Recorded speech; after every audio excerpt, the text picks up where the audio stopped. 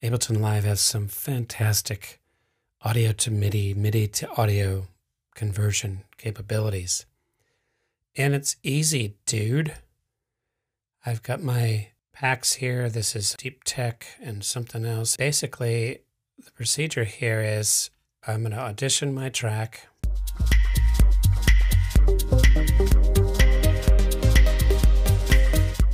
Okay, I think it's a fantastic line for this. It's audio, so I'm just going to take it and put it into the open field, and it creates an audio track.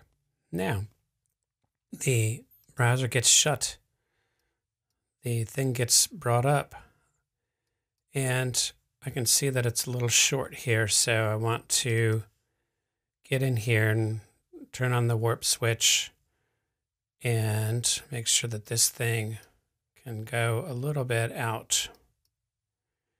Sounds good. I don't know why I'm fussing with it. I'm just going to move it a little out, just like so.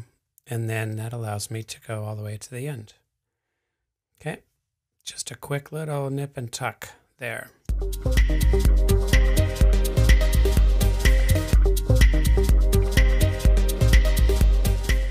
Okay, and this is wrong here, so I'm going to move this back.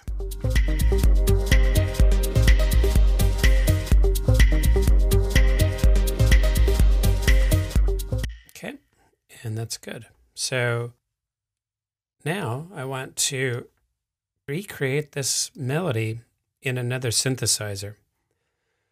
So I'm going to shut this so you can see it and close some of these up, option drag, just like so, and then open up number seven, pull it down again. Okay, I'm going to right click. I'm going to describe some things to you. If I select this and say slice to new MIDI track, it's going to take every single little hit in here and slice it up to a sampler so that I could play it across a keyboard. Then I have three other options. I can convert harmony to a new MIDI track, melody to a new MIDI track, and drums. In this case, I don't want these chords, I want this melody. So I'm going to select convert melody to new MIDI track, and there it goes. And a new MIDI track is established directly underneath with a MIDI pattern, like so.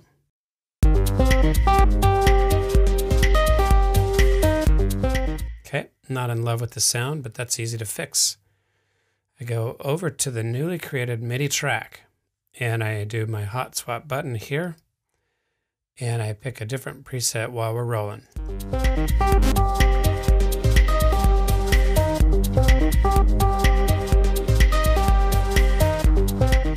Remember my swapped instrument button is Xed.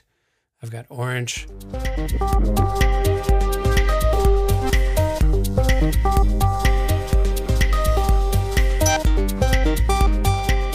Okay, that just gives me enough ice on the cake to suck it back behind like this.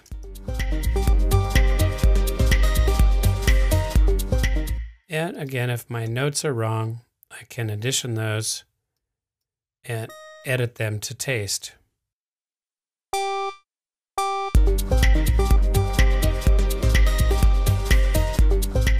But they got it. They got it. I might take this down.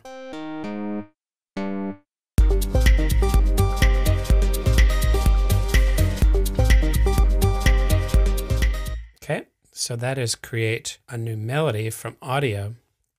Let's see if we can resurrect this horrible little track here.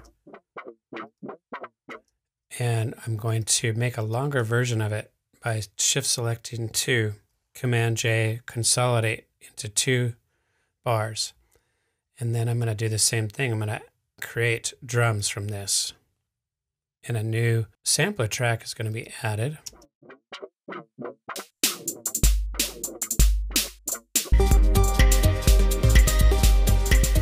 And of course, I can edit that into submission. It doesn't want to feel too quantized because the source material wasn't that quantized.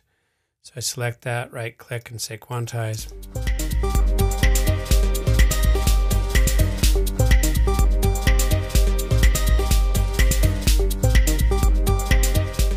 All right, so there it is. There is the choice of slice to new MIDI track, which will give me all these little pieces of audio spread across the keyboard from C1 to, you know, C7.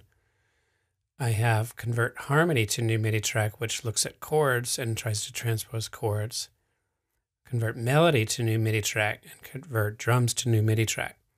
So it doesn't take too much imagination if you don't have keyboard skills, but you have a microphone and you can sing a melody into an audio track and then turn that into MIDI and manipulate that. In the next tutorial, we're going to try to create a song structure out of this mess.